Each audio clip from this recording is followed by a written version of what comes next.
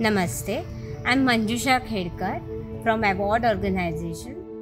I participated in an online training program on local fundraising organized by Smile Foundation, Change the Game Academy. Training and the mentorship gave us confidence in planning a two day LFR event. The LFR event served two purposes. One, it strengthened the out, our communication and connection with local people. Secondly, the event generated good income for farmers and women's group.